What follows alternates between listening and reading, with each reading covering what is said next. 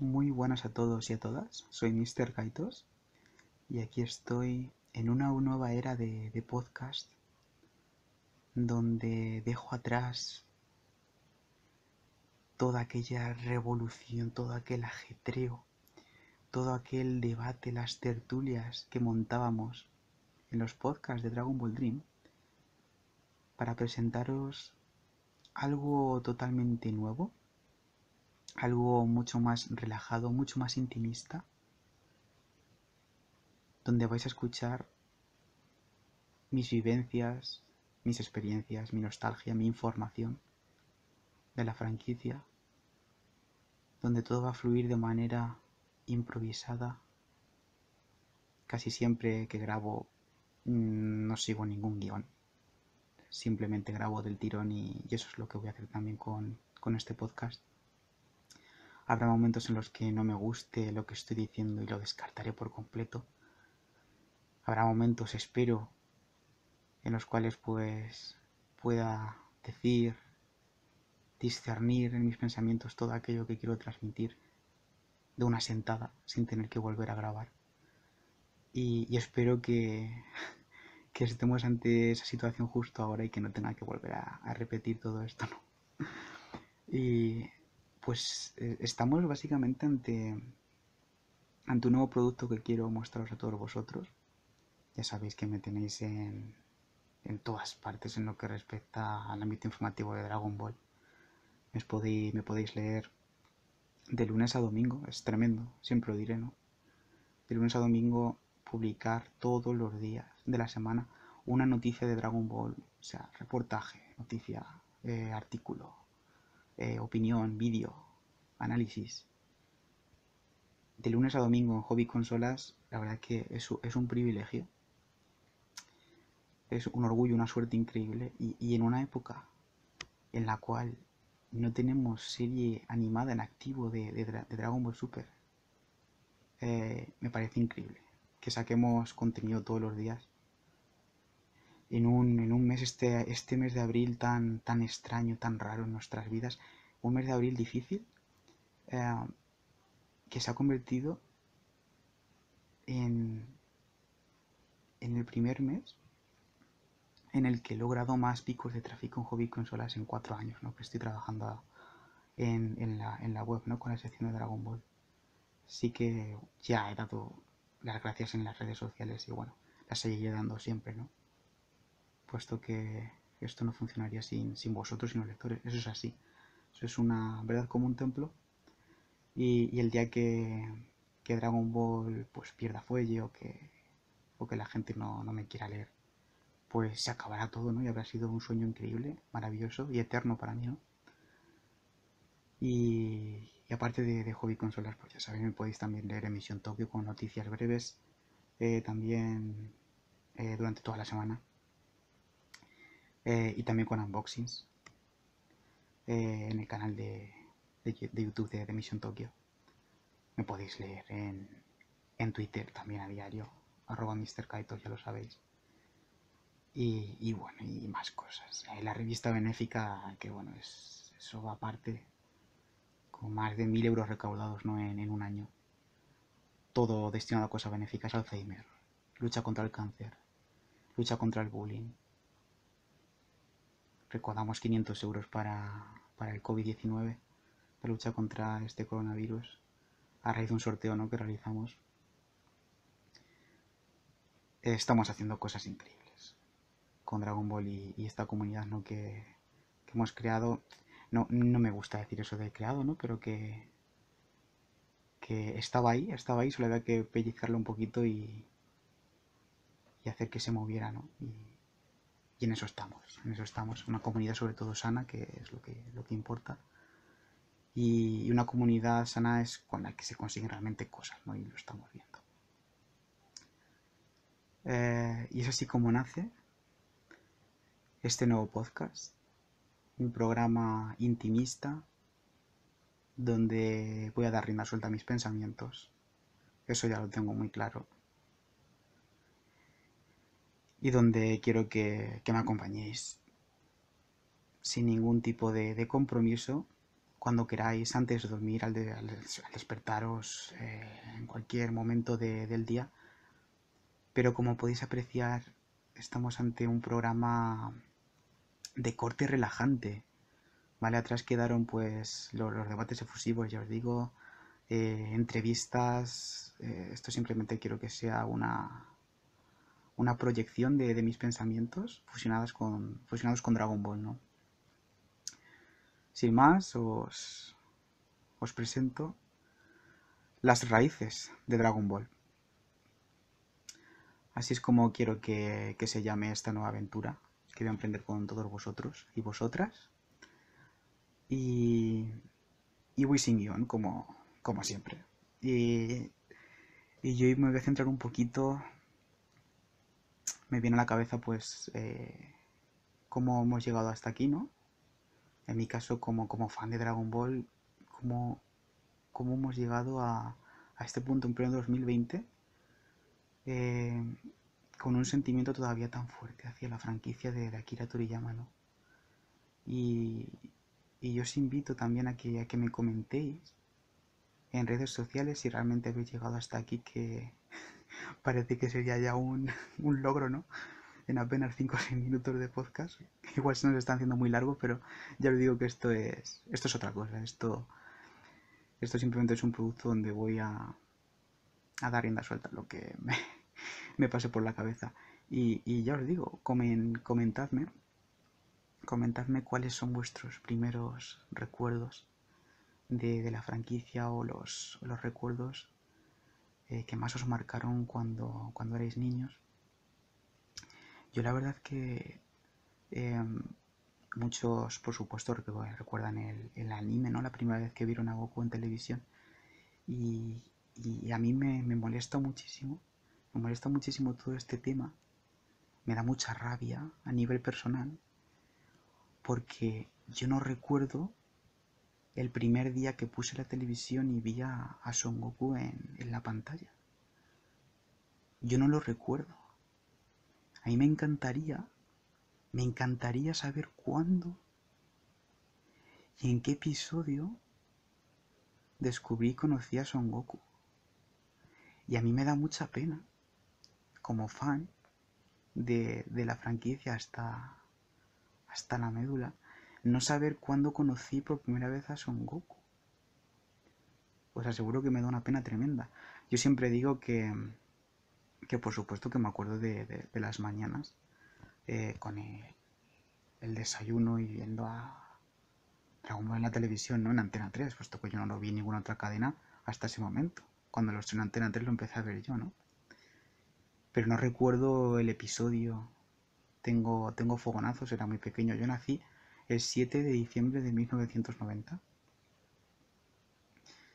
Y como podéis imaginar, pues descubrí Dragon Ball eh, siendo, siendo muy muy joven en Antena 3.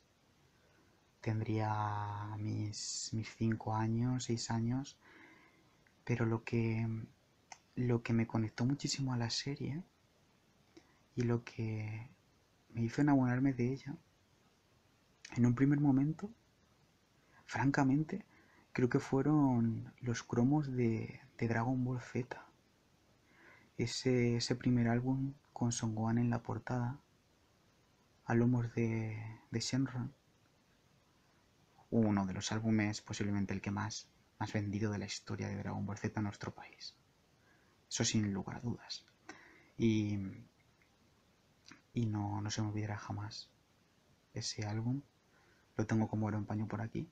Que curiosamente completé los últimos cuatro cromos o tres cromos que me faltaban el, año pasado, si no recuerdo mal. Tenía el álbum medio, medio completado, me faltaban poquitos y, y no fue hasta 2019 cuando dije, venga, vamos a terminar esto, ¿no? Y cerramos ya este, este capítulo de, de, nuestra vida, ¿no?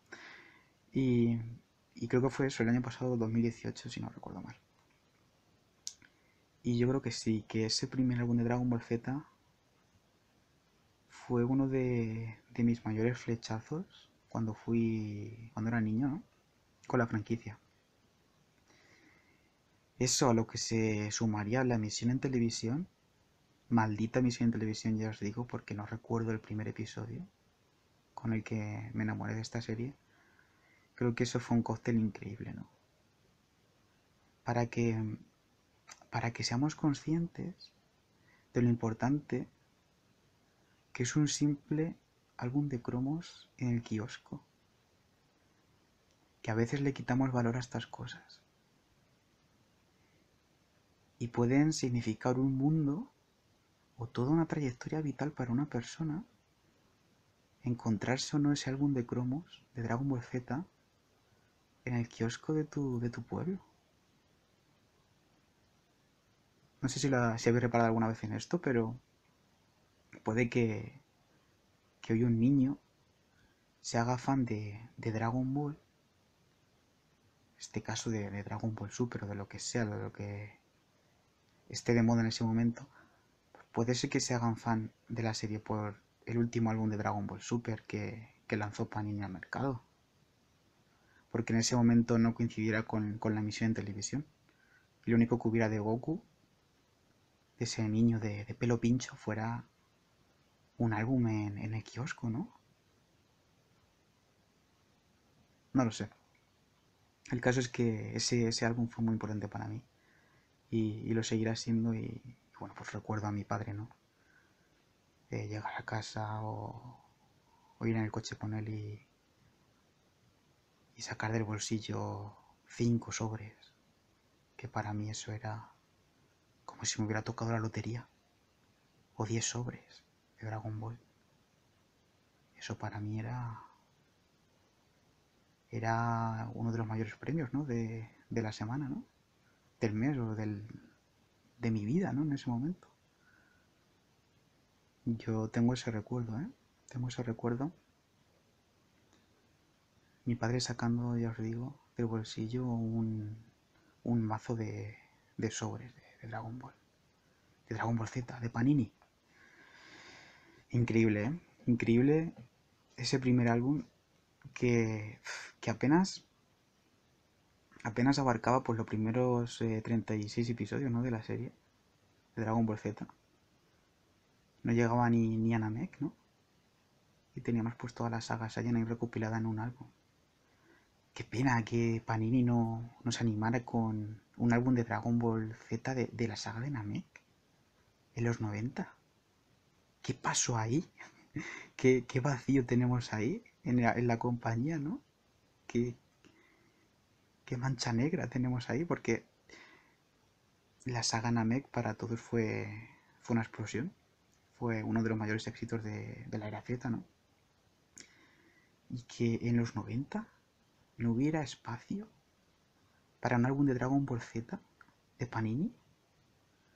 Lo hubo para la saga Saiyan, lo hubo para la saga de los androides, parte de la de Cell. Lo hubo para las películas, para la saga de U pero no tuvimos un álbum de Dragon Ball Z de Panini de Namek, de la saga de Freezer. Es algo increíble. Viéndolo con retrospectiva, es realmente increíble. Pero es realmente increíble cuando estamos en 2020 y todavía no hemos tenido ese álbum de la saga de Namek. ¿Dónde está ese álbum? Nuestros amigos latinoamericanos sí que tuvieron álbumes de Dragon Ball Z de todos los arcos, ¿no? de la serie. Álbumes preciosos, estridentes, llenos de color, muy alocados, muy latinos. Y aquí pues también eran muy, muy, muy llamativos, muy coloridos, también como latinos que somos. Pero ellos tuvieron todos los arcos. Aquí nos faltó ahí la saga de, Freezer, saga de Namek. Qué pena, ¿eh? Qué pena. En cualquier caso, pues tuvimos ese, ese primer álbum, ¿no? Que me enamoró y fue un primer álbum donde, donde también se, se lanzaron posteriormente unas, unas canicas también, unas, unos canicromos, unos canicromos de Dragon Ball Z, que hace unos días os mostramos en Hobby Consolas y que también y que también lo relaciono estrechamente con esos primeros años de, contacto con la franquicia. Esos sobres eran eran el top, eran lo más de lo más puesto que eran más caros que los convencionales, tú lo abrías, tú abres ese sobre de canicas y lo que te encontrabas dentro era un sobre bastante grande y te encontrabas dentro un sobre convencional de cromos de la colección que estuviera en el kiosco en ese instante, en ese momento, y una canica y un canicromo de Dragon Ball Z. Un total de, de 60 canicas, si no recuerdo mal. Muy difíciles de, conseguir hoy en día. Y, y, ya os digo que tenéis, tenéis Hobby Consolas uno de, de los vídeos no recientes donde vemos algunas de estas canicas de Dragon Ball Z, los canicromos. Y recuerdo que se anunciaban en, en la televisión. Y aquí ya no sé si estoy divagando de más, si empiezo ya a alucinar, pero, pero recuerdo que, que el anuncio creo, creo recordar y que me perdone, que me perdone porque esta voz está ya surcando las estrellas desde hace mucho tiempo, igual que Mufasa. Pero que me perdone Constantino Romero, puesto que creo que fue él, Constantino Romero, el que locutó ese anuncio de los canicromos de Dragon Ball Z. Y no me sorprendería en absoluto. No me sorprendería puesto que fue una voz que, que acompañó también a Dragon Ball Z en los anuncios promocionales. Tuvimos a, a Constantino Romero locutando eh, anuncios de figuras de Dragon Ball Z, ya en una época ya posterior, eh, más posterior a todo esto que estamos hablando, una época mucho más posterior. Pero, pero sí que creo que, que estuvo también por aquellos tiempos. Eh en, en esa época de mediados de los 90 anunciando, promocionando productos. Y creo que los canicromos, si ahondamos en ellos, pues lo tuvimos en televisión ese anuncio y ya Constantino Romero lo locutó. O eso o estoy soñando totalmente, soñando despierto ahora mismo. Pero juraré que sí, juraré que sí. Igual que recuerdo otro anuncio increíble que no he podido recuperar otro anuncio de televisión eh, muy muy nostálgico también de última tirada de los 90. Muchos recordaréis las figuras, las figuras para colorear de Dragon Ball GT de Planeta de Agostini, que luego tuvieron otra otra tirada, las mismas figuras ahora sí coloreadas ya de fábrica, ¿no? Tuvimos esas dos versiones. Entonces la primera versión pues era la figura totalmente esculpida en blanco y cada fascículo pues te venía con unos botecitos de, pintura para que las colorearas tú, ¿no? Siguiendo un modelo. Las obras de arte de los chavales, pues os podéis imaginar, ¿no? Había Goku Super Saiyan 4 totalmente increíbles. Auténticas obras de arte por parte de los, de los chavalillos. Y, y bueno, pues recuerdo eso. ¿eh? Recuerdo que esta edición, que esta, estas figuras, de Dragon Ball GT tuvieron también su anuncio en televisión con estas figuras blancas, ¿no? Y apareció un Son Goku Super Saiyan 4 en esos televisores de tubo mágicos, mágicos. Y ese Goku Super Saiyan 4 que yo recuerdo que apareció en el anuncio en 3D, que para la época tela, ¿eh? tela marinera, o al menos esa es la impresión que tengo yo, ese es el recuerdo que mantengo todavía en mi cabeza. Y decía Son Goku, socorro, me he quedado en blanco. Decía eso en el anuncio. Socorro, me he quedado en blanco. Eh, yo creo que el locutor le, le, preguntaba a Goku cómo se llamaba, eh, qué poderes tenía, cosas así.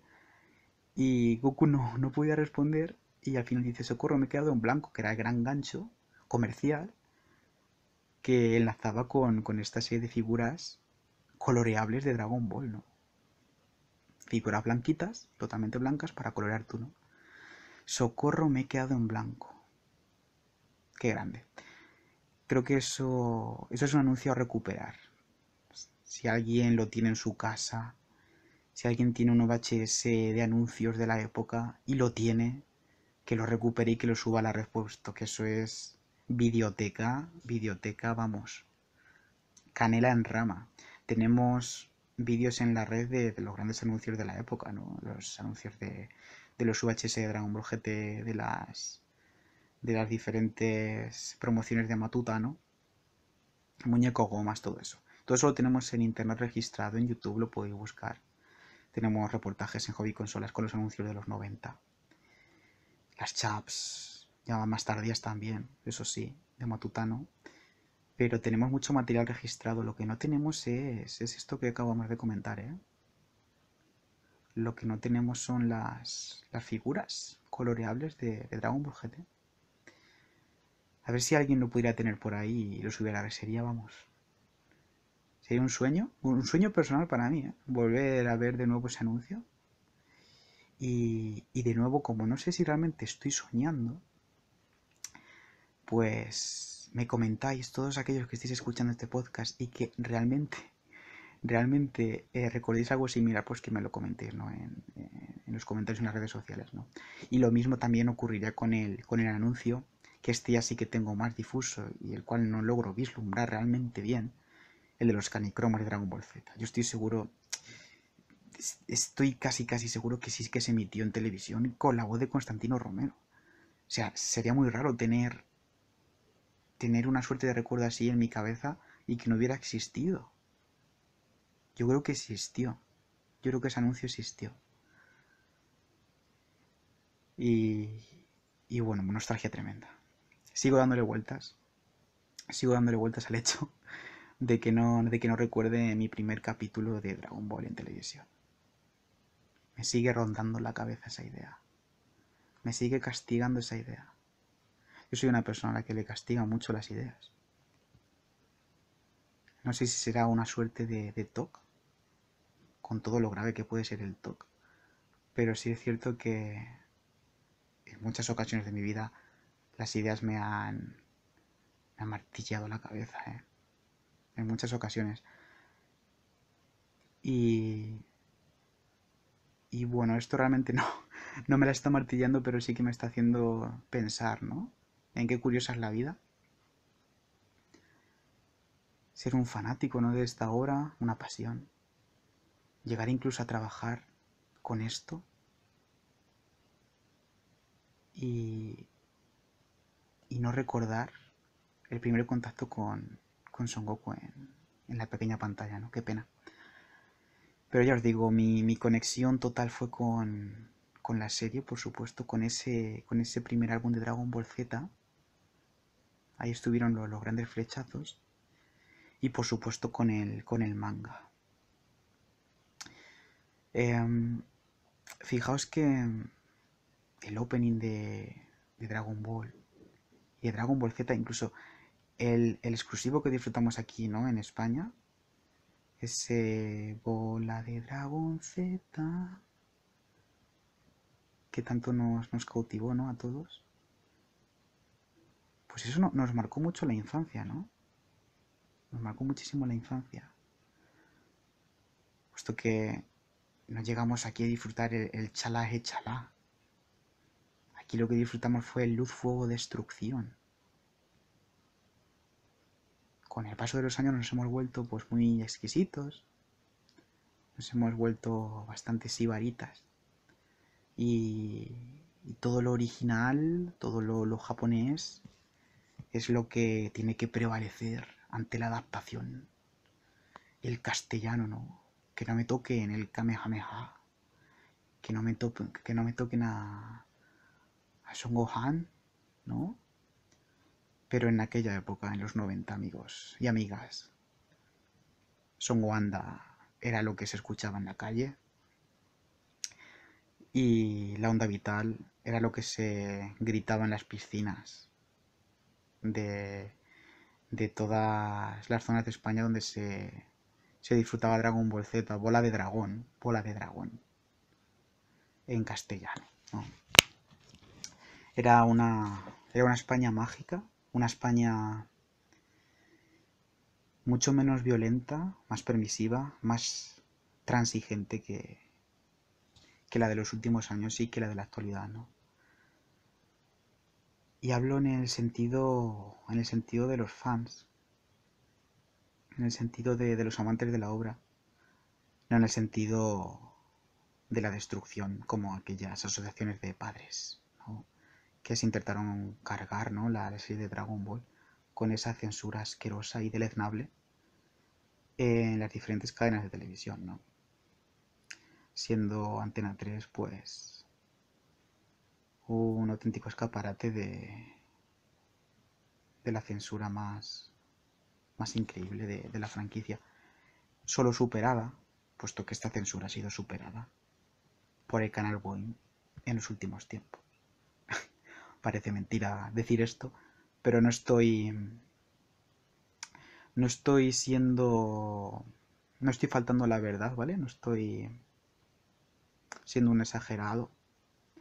Boeing en 2017, 18, 19 ha censurado más que, que la España de los años 90. Eso también es algo para hacernos reflexionar sobre lo que estamos viviendo en la actualidad, ¿no? Una época censora que, que da auténtico pavor, auténtico miedo. Una sobreprotección a los niños contraproducente y dañina, donde lo natural es que te cortes el brazo y que no sangres, ¿no? Dime tú si eso para un niño es normal. Dime tú si eso lo ve un niño y, y no le dan incluso más ganas y curiosidad hacerse un corte en el brazo para ver si realmente sangra o no. No me digáis que, que no puedes llegar a ser contraproducente. Mejor que estoy diciendo una estupidez enorme, pero. Pero ¿por qué no? ¿No? Imaginad una serie de televisión, pues que encontramos peleas y, nadie sangra, ¿no? Lo único que tenemos pues es saliva o, o ni siquiera eso, ¿no? Pues hay como, como vía libre, ¿no? Para, para hacerlo. No, no te va a pasar nada, ¿no? Si lo haces. No vas a sangrar. Hay que poner todas las cartas boca arriba, ¿no?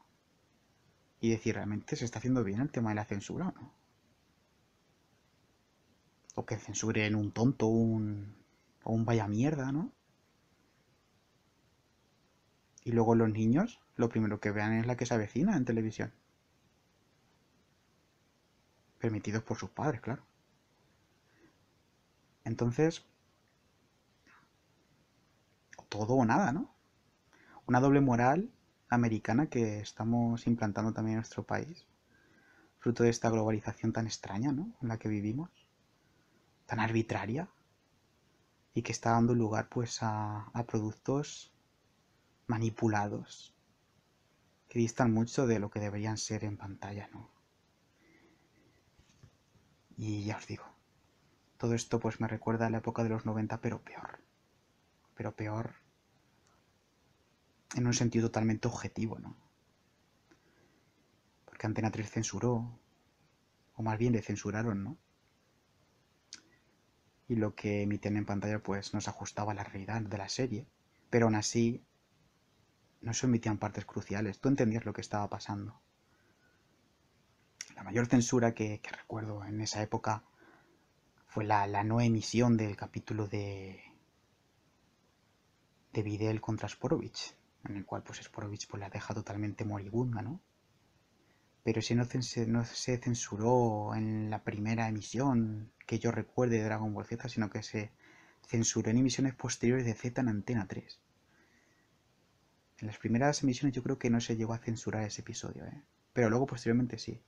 Porque me acuerdo grabar perfectamente la serie de principio a fin. Bueno, no, de principio no.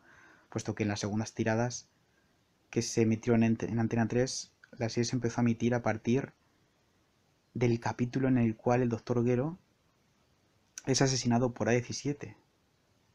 A partir de ese capítulo hubo un par de buques o tres de emisiones donde siempre se emitía desde ahí hasta el 291 de, de Z, hasta el último de Z.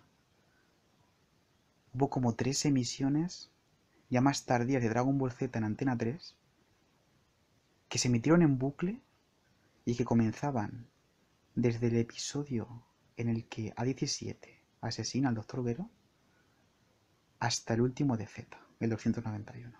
Eso fue muy raro, fue muy raro. Fue la época en la que, en la que conseguí grabar muchos episodios de, de Z en, en VHS y, y, fue una época en la que lamentaba que no, que no emitieran los episodios que, que vi yo de más pequeño, ¿no? De, de la saga Namek, de los Science y de la primera etapa, ¿no?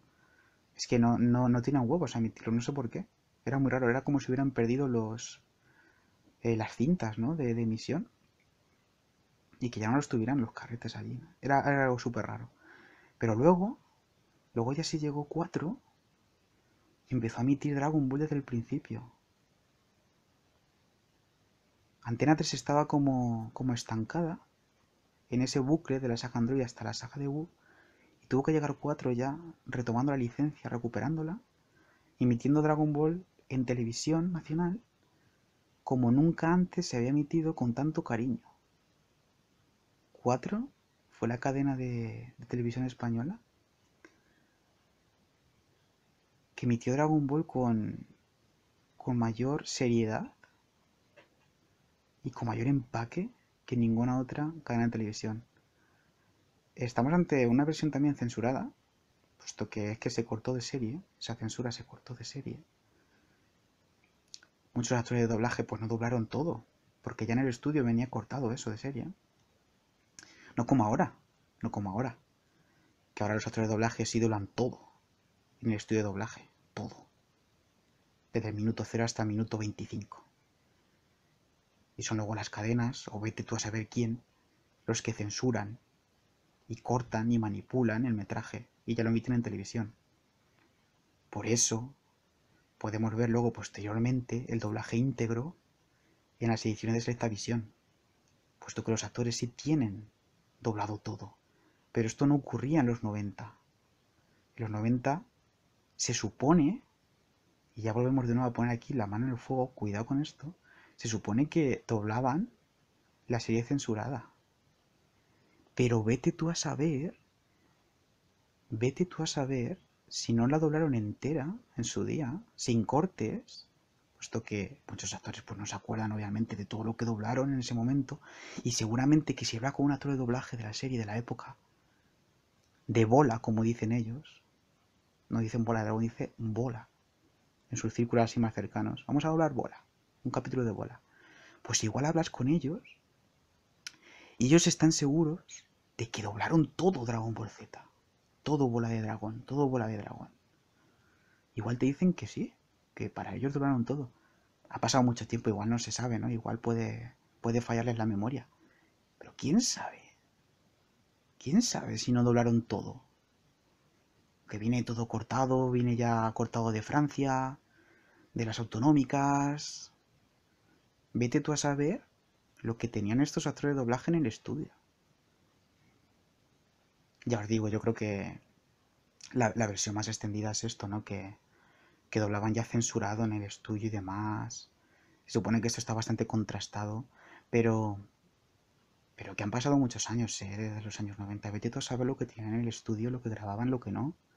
Y lo que terminaba saliendo en televisión. Y una España también censora, aunque bastante, bastante liberal entre comillas, viendo lo que hay hoy. Que se me entienda, viendo lo que hay hoy, ¿no? De censura mundial. Entonces, ya os digo, a, saber, a saber lo que tenían por ahí en los estudios de doblaje. Y, lo que comento que 4 fue, fue increíble, ¿vale? Todo lo que llegaron a emitir. Llegaron a, a realizar maratones maratones diarias de lunes a viernes de Dragon Ball, tres episodios diarios en televisión por la mañana, antes de ir al instituto los chavales o al colegio. Que mi hermano, mi hermano, se vio Dragon Ball de principio a fin, los 153 episodios y los 291 de Z, gracias a cuatro, ¿eh? Gracias a la labor de cuatro todas las mañanas emitiendo la serie de Akira Toriyama.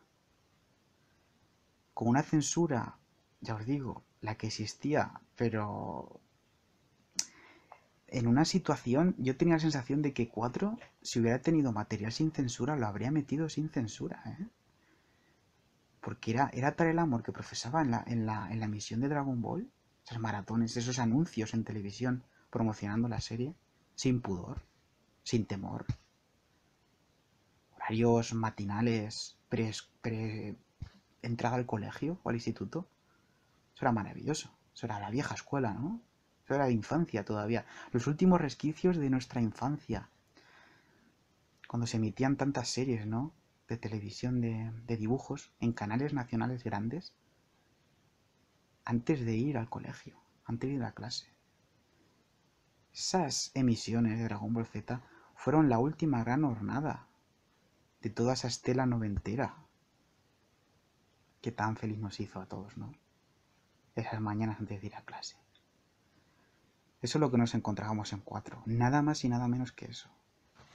Y ya si os digo que esto muchos no lo recordarán, otros sí, que también se emitieron las películas de Dragon Ball Z en 4, que eso hasta el momento era algo inédito en la época. Ya hubiéramos querido que el Club Megatrix emitiera las películas de Dragon Ball Z, pero no se, no se dio el caso.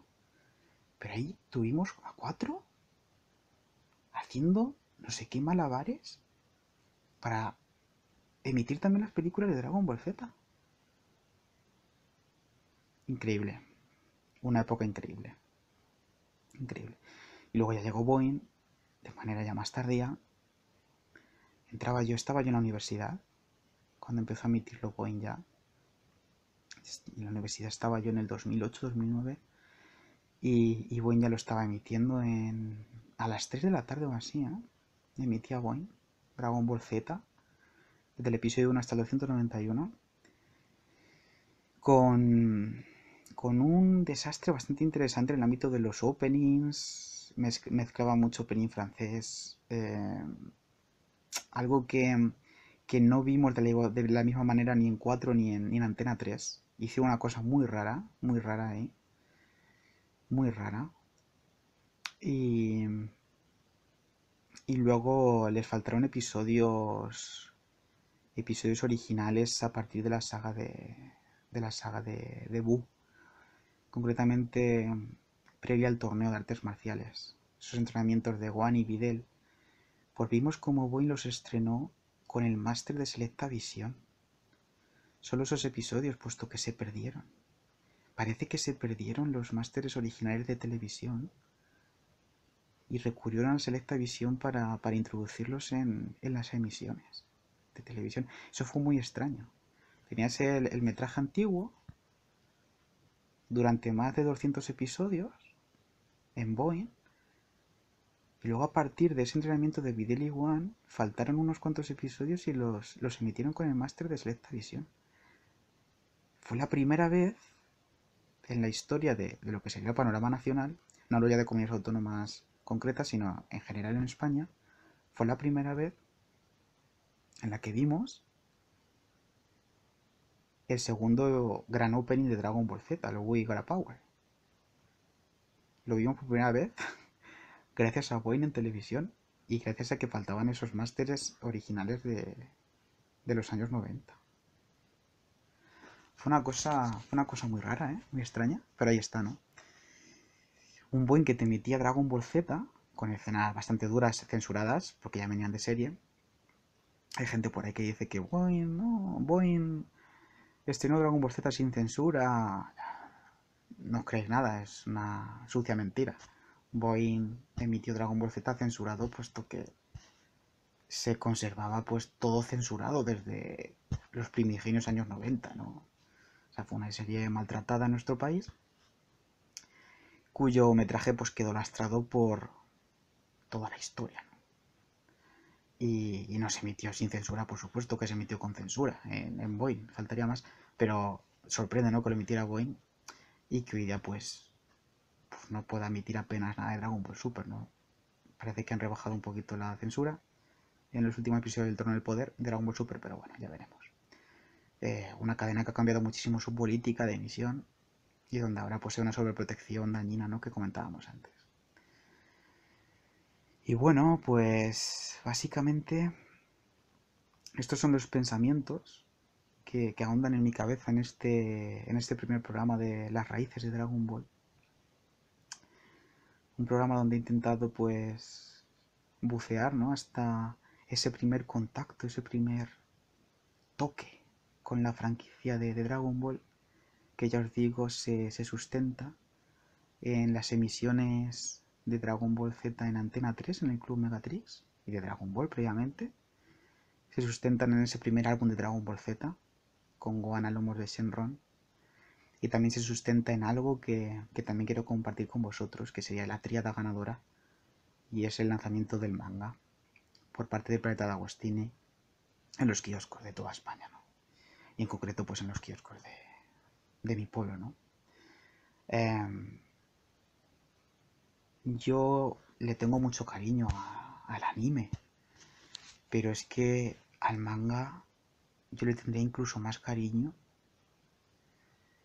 por todo lo que significaba ir al kiosco y ver esas portadas de la serie amarilla y de la serie roja brillando, brillando, porque las letras brillaban, el logo de Dragon Ball brillaba, tanto en la serie azul como en la serie roja. Y eso a un niño pues le hacía los ojos chiribitas, literalmente, chiribitas. Y, y saber que tenías el álbum de cromos por ahí danzando, los episodios en la televisión, y luego la serie amarilla o azul en los kioscos. Pues ya ves tú, el, el cóctel que significaba eso pues, para un chaval, ¿no? De, de 5, 6, 7 años, ¿no? Eso era el santo grial, la santísima trinidad, el manga, el anime y los álbumes de cromos y derivados. Pues la ruina, ¿no? La ruina para cualquier madre o padre y que en la época pues nos quedamos a dos ver a los chavales. Ya os digo que, bueno, mi primer, mi primer cómic de, Dragon Ball fue el número 13 de, de, la serie azul. El número 13 de la serie azul, que tenemos en portada a número 17 y a número 16, una portada chulísima. Y luego ya me fueron comprando cómics salteados hasta que ya lanzaron los tomos amarillos, los 42 tomos amarillos de Planeta de Agostini, formato Pocket, formato Tankubo, que es una maravilla de edición. Y ahí fue cuando me empecé a leer el manga de verdad, de principio a fin, sin saltarme una coma, con esos capítulos numerados, con los títulos en cada una de las páginas. Maravilloso, un índice maravilloso. Páginas extra de regalo. La primera vez que, que supe cómo leer un tomo japonés, de derecha a izquierda, porque lo primero que hice, como comprenderéis al coger ese tomo, fue abrirlo de manera occidental. Y me encuentro pues con los típicos bocadillos de Goku y compañía diciendo, eh, que has cogido el tomo al revés. Estás ante un tomo japonés y esto se lee de derecha a izquierda. Y bueno, pues maravilloso, maravilloso concepto. Me voló la cabeza. Yo estaba acostumbrado pues a los típicos cómics occidentales, la serie azul, la serie amarilla, que se leían de izquierda a derecha. Y claro, ese concepto también pues me marcó, me pareció muy curioso y me enamoró.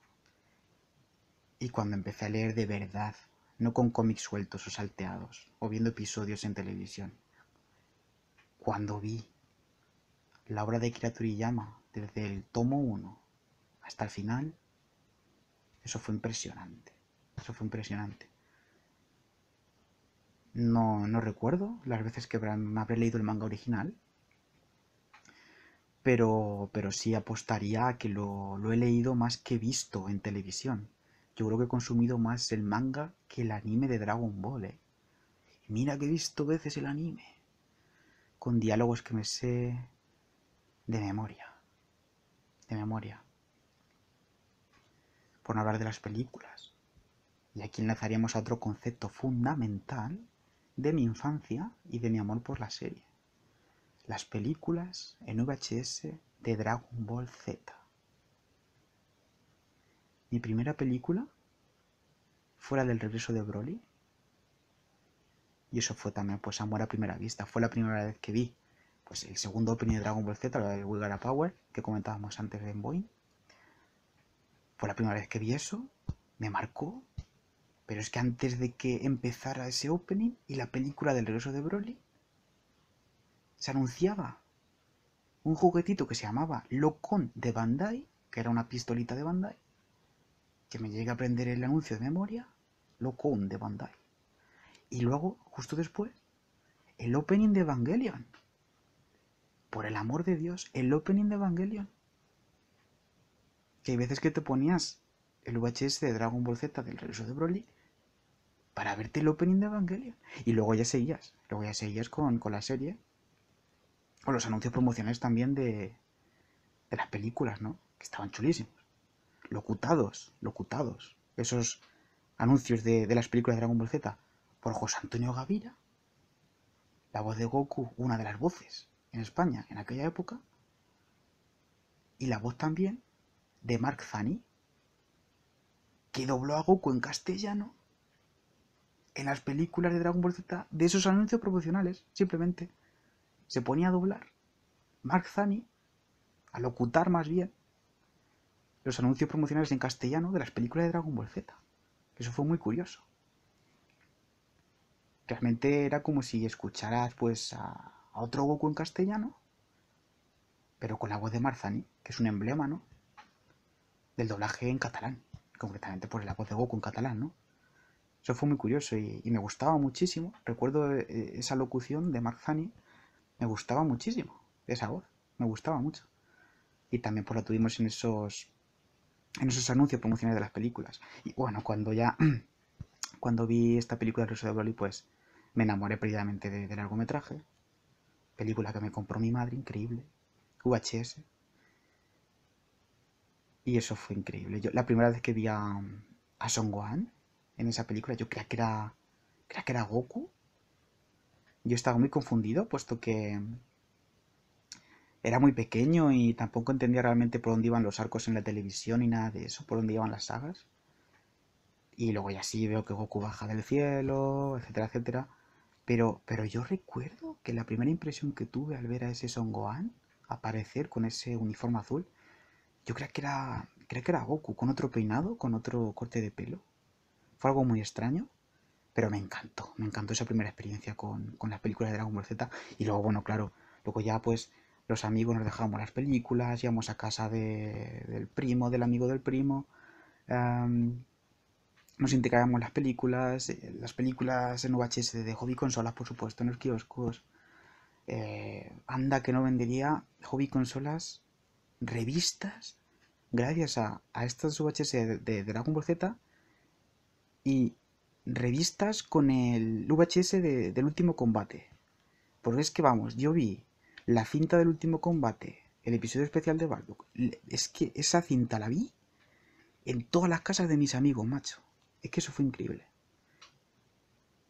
Vi esa cinta en todas partes. En todas partes. Así que no sé lo que vendería ese, ese número de hobby consolas, pero fue increíble. Ahí las tengo, ¿no? Las, las, las VHS de, hobby consolas y las normales, ¿no? Que es una lástima no, que no tenga un vídeo. Me gustaría tener un vídeo. VHS pues para, para ponerlos, ¿eh? Un reproductor y, ponerlas de nuevo y, y revivir, ¿no? Esa magia. No soy yo un, sibarita de, de la máxima calidad de audiovisual y me gusta ponerme una cinta de estas eh, y, y, gozarlo, eh, gozarlo a tope, gozarlo a tope. Así que bueno, esa fue, esa fue otra de, de, mis grandes, de mis grandes pasiones en la época, ¿no? Ponerme esa cinta del regreso de Broly y luego ya las que, las que vinieron también después, ¿no?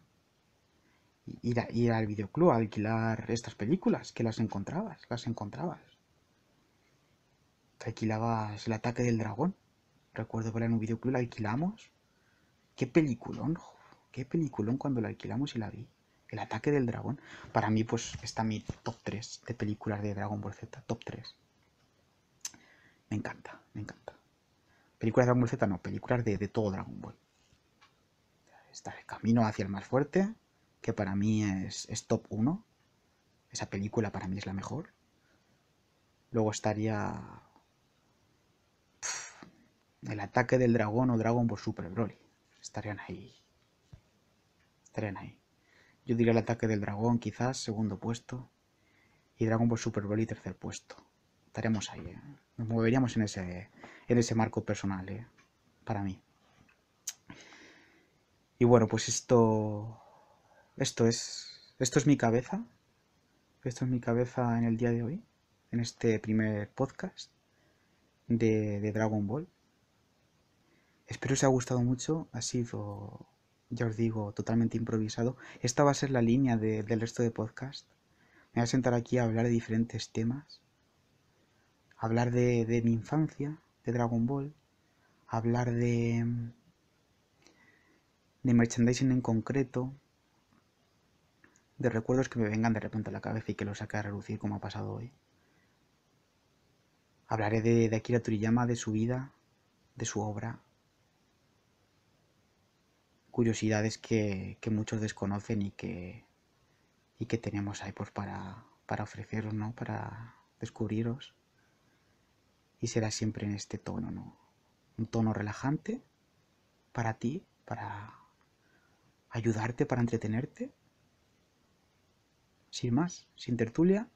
Simplemente aquí pues una persona hablando sobre, sobre una pasión compartida por todos vosotros y a la que le gustaría escuchar vuestra opinión sobre lo que acabáis de escuchar.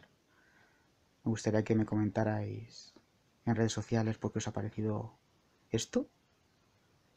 Si queréis más, sobre qué lo queréis. Y estoy a vuestra disposición. Muchísimas gracias por, por haber llegado hasta aquí. Seguramente habrá sido un milagro. Y nos vemos próximamente en otra edición de las raíces de Dragon Ball.